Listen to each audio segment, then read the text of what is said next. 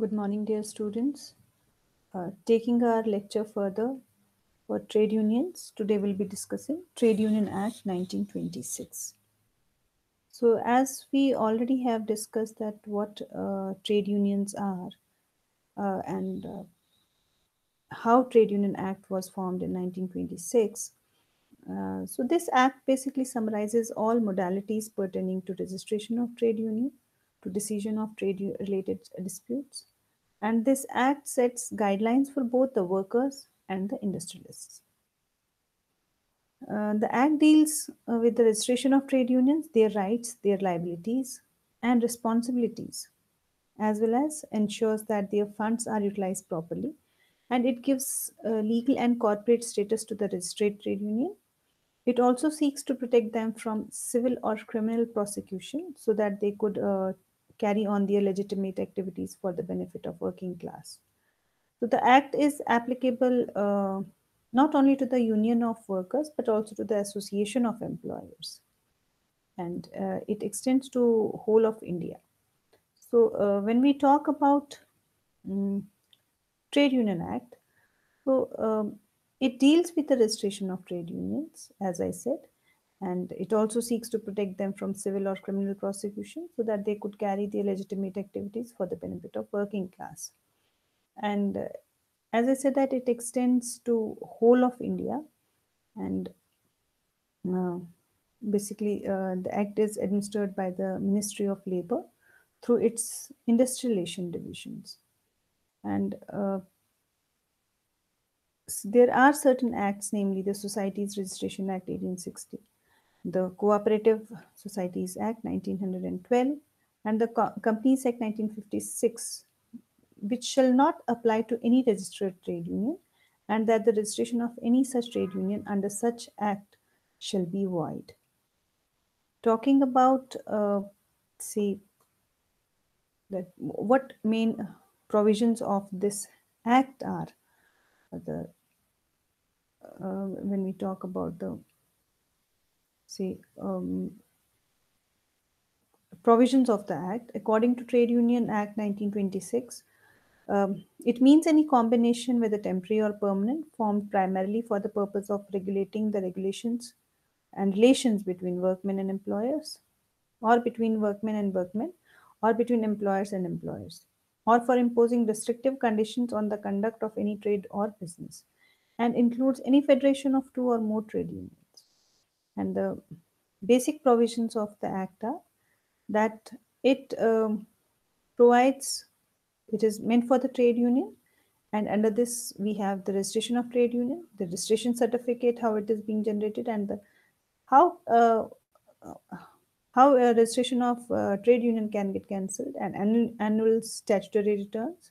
and how these funds can be used and maintenance of accounts and uh, what are the circumstances under which um, registrar may disqualify the registration or the applicants for, for, uh, for getting trade union registered. So the Act provides for the registration of trade union uh, with the registrar of trade unions, which is set up in different states, like the Office of Registrar, which is set by the Government of National Capital Territory of Delhi, um, for registration of a trade union, seven or more members, as we have already discussed in our previous lecture, that seven or more members of the union can submit their application in the prescribed form to the registrar of trade union. And the application shall be accompanied by a copy of uh, rules of trade union and a statement giving particulars like name occupation address head office name of the office bearers and um, all that um, which is which is which is to be submitted in the format which is given uh, under the Trade Union Act 1926. So, uh, the registered trade union, which are workers and employers, they are required to submit their um, annual statutory returns to the registrar regarding their membership, general funds, sources of income, and items of expenditure and details of their assets and liabilities, um, which in turn submits a consolidated return of their state in the prescribed proforma to Labor Bureau, Ministry of Labor and Employment. And the Labor Bureau, on receiving the um, say uh, um, annual returns from different states or union territories, it consolidates the all India statistics and disseminates them through its publication, which is entitled as Trade Unions in India, and other uh, regular publications. So the general funds of a trade registered trade union, they shall not be spent on any other objects than those specified in the Act. Also, a registered trade union may constitute a separate fund from contributions separately levied for uh, made to that fund for the promotion of civic and potential interest of its members. As we said that they are trade unions are engaged in various social and say um, political and uh, they have other functions through which they promote social interest of the society of the nation. And no member shall be compelled to contribute to such fund. And a member who does not contribute to said, uh, said fund shall not be excluded from any benefit of the trade union or is placed in any respect either directly or indirectly under any disability or at any disadvantage which is compared with other members of the unions maybe by reason of his contribution to the said fund. Um, this act also uh, says that no office bearer or member of a registered trade union shall be liable to punishment under the Indian Penal Code with respect to any agreement which is ma- being made with the between the members for the purpose of furthering any such object of the trade union which is specified in the act. Unless the agreement is an agreement to commit an offense. So uh, uh, no office bearer or member uh, of registered trade union shall be liable to punishment. Then uh, no suit or legal proceeding uh, shall be maintain, uh, maintainable in any civil court against any registered trade union or any office bearer or member thereof in respect to any mm, any act which is done in contemplation or furtherance of a trade dispute to which a member of the trade union is a party sorry on the ground only that such an act uh, induces some other person uh, to break a contract of employment or that it is an interference with the trading business or employment of some other person or with the right of some other person to dispose of his maybe his capital of his labor um, as he wills then the account of books of registered trade union and the list of members uh, shall be open to inspection by any office bearer or member of the trade union uh, which is um, you know uh, subject to inspection as and when uh, demanded. Then every office bearer or any other uh, person bound by the rules of the trade union shall be uh, punishable with the payment of fine in case any default is made on the part of any registered trade union in giving any notice or sending any statement or other document as required or uh, under by provisions of any of the act. Um, and there could be any um, you know um, willful disobedience if there is uh, any which is causes uh, to any false entry or any omission from the general statement or any form of a copy of rules or alteration of the rules which is sent to the registrar. So it is an official um, a punishable offense. And uh, any person who with intent to deceive gives to any member of a registered trade union or to any other person intending or applying to become a member of such trade union or any document purporting to the copy of rules of trade unions or any alteration to the same which he is you know which he or she knows uh, he has reason to believe is not correct. Mm, a copy of such rule or alterations um, as um, are for the time being enforced or any person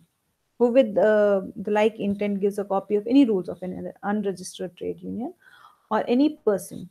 to the pretense that such rules are the rules of a registered trade union. Then uh,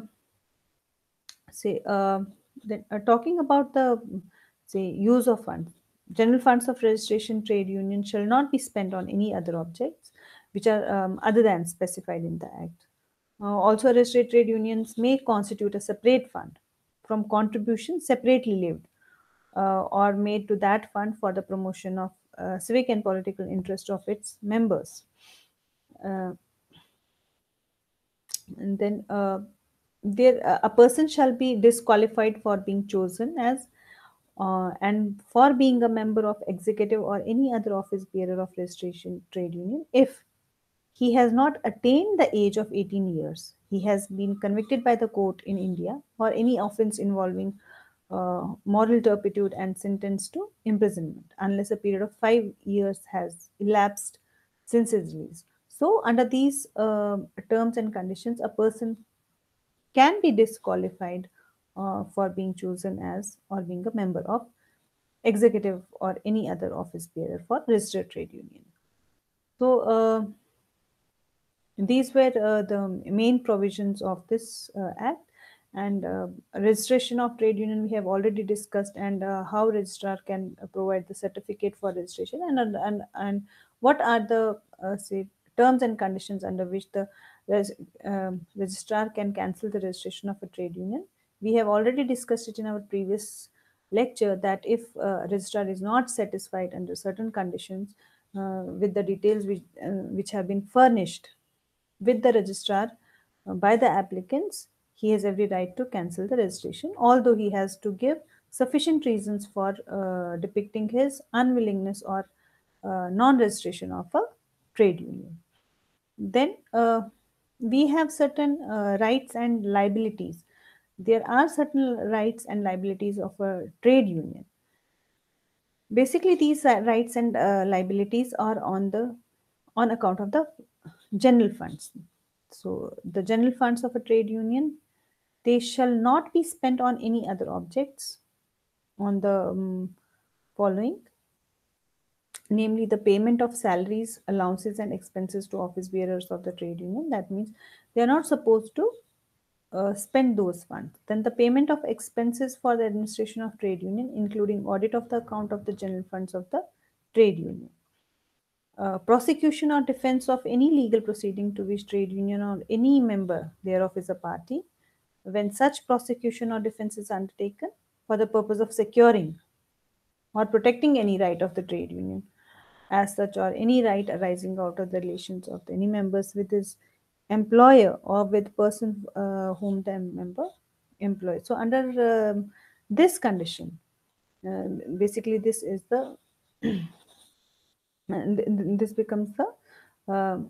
say right of the trade union that uh, they go they can go for the prosecution or defense of any legal proceeding and then the code of trade union uh, disputes on behalf of trade union or any member thereof. Compensation of members for loss, uh, loss arising of trade disputes. So, uh, this is the right of trade union that uh, they can compensate the members uh, during the disputes if there are any disputes which are arising out of any conflict or any dispute. So, they can compensate the members uh, through the through the funds that have been generated by the trade union that allowances to the members or their dependents on account of death, old age, sickness, and accidents or unemployment of such members. Again, funds uh, um, trade union has the right to utilize the funds uh, for the allowance of the members for their dependents or, or their dependents. Then they can issue off or the undertaking of liability under policies of assurance of the life of members or under policies which are ensuring members against sickness, accident, or unemployment. Then the provision of educational, social, or religious benefits for members, including payment of expenses of funeral or religious ceremonies for deceased members or for the dependent of members. Now, these are not the rights, these are the liabilities of the trade union that they have to spend. Um, fund for the, let's say, funeral, for a payment of funeral expenses, maybe, uh, or the religious uh, ceremonies for the deceased members. Uh, for the trade union member if he if he's you know uh, if he dies or uh, if his dependents are not able to say bear the expenses so trade union has the liability to do that. Then upkeep of uh, periodical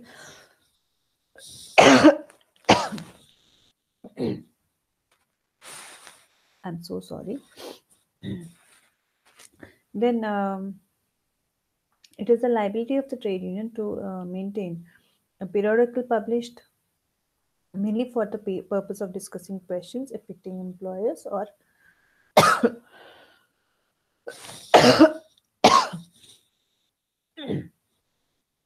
workmen asset. then the um, trade union is also liable to pay the uh, to have the payment in furtherance of any of the objects in which the general funds of the trade unions may be spent. In contribution to the cause intended to benefit workmen in general. But that expenditure has to be in respect of such contribution in the financial year and it should not uh, at any time during that uh, year be in excess of one fourth of the combined total of the gross income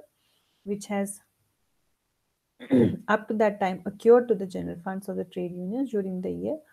and the balance of the credit of those funds at the commencement of the year. That means uh, trade union has the liability to make all the uh, say payments and contributions in that particular financial year and uh, those contribution or the payment should not exceed one fourth of the combined total of the gross income that means in one particular financial year trade union can spend one fourth of the combined of the total which uh, which it is um, mm, it has generated funds so out of those funds only one fourth of the combined um, total of gross income can be spent on such payments. Then, uh, subject to any conditions contained in the notification or any other notified by the appropriate government in the official gazette. That means if there are any changes in the rights and liabilities of the trade unions, which is being um, which is being um, notified by the appropriate government, maybe through official gazette, that would be subjected to the trade union in terms of rights and liabilities. Then there are um, uh, there are certain recommendations um, uh, of the National Commission on Labor with respect to fraud union registration and recognition. that means uh, how uh, uh, if if if a trade union is not furnishing all the details to the registrar or thereafter so it, its registration may get cancelled and may be declared as fraud so uh, on this aspect there are certain recommendations by national commission on labor so uh, which says that every office bearer on or other person bound by the rules of the trade union shall be punishable with the payment of fine. If um, um, um when uh, when uh, this uh, trade union can be declared as a fraud if default is made on the part of any registered trade union in giving any notice or sending any statement or other document as required uh, under any provision of the act that means if the details have not been furnished properly knowingly to with the registrar. And any person willfully makes or causes to be made any false entry. And if a person or the applicant is making any false entry in the application with the registrar then uh, again in that case it would be declared as a fraud. And any person who with the intent to deceive gives to any member of a registered trade union or to any person intending or applying to become a member of such trade union maybe any document purporting to the copy of the rules of the trade union or any other alteration of the same which he or she knows or he has reason to believe is not correct that means if the registrar is um, believing that the details which have been furnished by the applicant is not correct uh, then copy of such rules or alterations are for the time being in force or any person who likes to um, with the like intent gives a copy of any rules of an unregistered trade union to any person. That means a trade union has not been registered, but still they are circulating the copy of rules to the members of the um, um, which has not been registered with the uh, trade um, registrar, then again that may be considered as a fraud. Then any registered trade union may with the consent consent of not less than two thirds of the total member of its members subject to the provision of the Act change its name For example, if uh, if trade union wants to change the name, then there has to be um, then there has to be um, approval of two third of the total number of its members in the um, um, for in uh, in favor of change of the name. So the change uh, in the name of a registered trade union shall not affect any of its rights or obligations or render def uh, defective any uh, legal proceeding by or against the union. And any legal proceeding which might have been continued or commenced by or against it former name may be continued by its new name. That means if uh, tomorrow if t- trade union is changing its name um, then it does not mean that uh, uh, it will it will um, it will altogether be a different entity no. That means that uh, uh, obligations and the liabilities which it was having under one particular name will be continued with the new name as well. So any two or more registered trade unions may become amalgamated together as one trade union with or without dissolution or division of funds of such trade union or any of them provided that the votes of at least one half of the members of each of such trade union entitled to vote are recorded. And that at least 60% of the votes are in favor of the proposal. That means if two um, registered trade unions want to amalgamate then there has to be uh, then there has to be sanction of at least 60% of the votes which have to be in favor of the proposal. And such an amalgamation shall not prejudice any right of any such union or any right of creditor in uh, or any of them. So these uh, trade union act uh, 1926 it gives uh, certain powers to the trade union. It gives certain rights and liabilities uh, for the trade unions. And